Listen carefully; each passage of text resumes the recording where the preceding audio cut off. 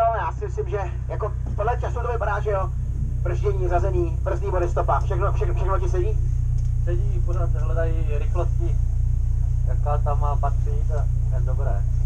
Skvělý, máš první čas, pokud se nepletu výborný, opravdu skvělý. Takže teďka ti přeju, abys to zajel rychle a bezpečně, měl bys potom dva první časy a pokud si můžeš že co chceš.